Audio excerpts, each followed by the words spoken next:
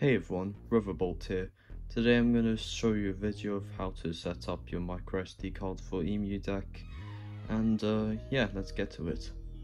So basically, of course you need a microSD card first. I've got a uh, 1 terabyte here. Maybe it's hard to see, but yeah. And then I will um, put in my Steam Deck.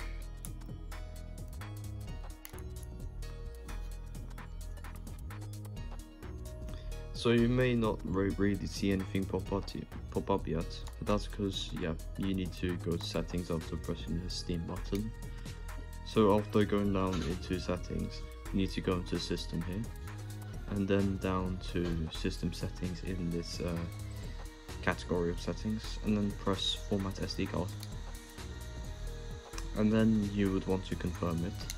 So yeah, it would be testing um, to see that it's um, working and everything, so that's why it would maybe take a while on this. If this is uh, taking a while for you, um, I just had mine go from uh, testing to formatting and oh, there, it's done. Okay, so after doing that, maybe you'd want to go down to storage and then see that it's um, working. So like, yeah, if you see microSD card there, then yeah, it's working. Okay then. So then next, you want to press the Steam button, then power, and then switch to desktop. I'm gonna plug in uh, the keyboard and mouse with, via USB hub, so I'll come back after I've done that to show you more of how to set up EmuDeck and transfer over your um, files from your internal storage over to the SD card. So once you're on your desktop in desktop mode, what you want to do is um, click on deck.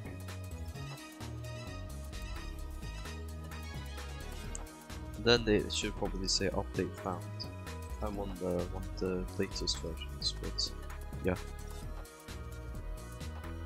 So then, yeah, it takes me, yeah, welcome back to EmuDeck. So then, what you want to do is press continue and then press on your SD card, then next, then uh, Steam Deck, and then customize um, what emulators you want. So these are the ones I want. And then usually I leave this uh, by default like this, but you can uh, yeah decide for yourself. And then um, you can configure RetroGPs if you want, then yeah, continue. Then yeah, you get these customizations for if you want uh, bezels or stuff like that for your games. So this is like personal preference. I like it when it's like wider because yeah, I don't like when it's like a massive black uh, borders thing. Uh, yeah, hope no one gets pissed off in the comments. So uh, yeah. I like it when it takes up most of the screen as you can. Okay. So you just kind of speedrun this. And then you can, uh, yeah, select how you want emulation station to look like. Then you press uh, finish. And then you just have to wait for the installation to complete. It will create a ROMs folder and install emulation station to my SD card. And then yeah, if you want to get the stuff coming from the internal storage over to the micro SD card. But yeah, that's what I'm trying to show you here. So now you would be on the screen after the installation is um, completed. So yeah, here it tells you about adding games, and then where, you need to go to SD card. So um, yeah, that's what I'm going to show you how to get from the internal. So then you can go into Steam ROM Manager, but that's not what we want to do. So we are going to exit here. So next up what you want to do is press on the Dolphin File Manager. And then it should bring you up to something like this. So then, what you want to do is press on Deck. And then, yeah, you can right click onto Primary here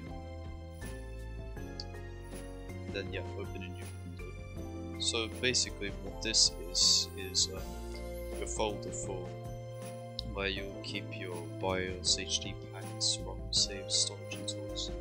So if you want to merge your internal with that, so all you have to do is drag this over, then press move in, then right into yeah, apply to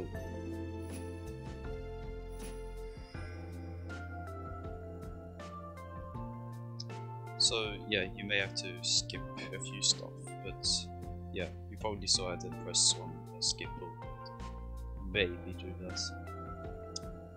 So yeah, it would take 10 minutes for me as I have quite a lot of files on, yeah, from my emulation folder here. And then when you want to get looking at other stuff from EmuDeck, then yeah, you'll find it here in home. Then yeah, you'll get your stuff there, but most of it lies in emulation. So yeah. Then, well, as you can see, for example, this is how it would probably look like for like um, an SD cards game. So yeah, that looks correct. And it probably will work if you connect it to RetroArch or some other emulator using for your games. But let's test uh, Sonic 3D Blast for example. There.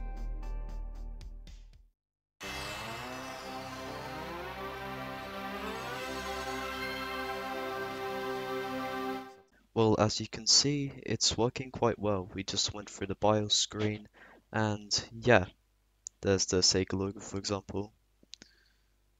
Traveler's Tales logo. Yeah, a few more logos, but uh, yeah, I'd say this is working great. Hope you enjoyed this video and have a great day.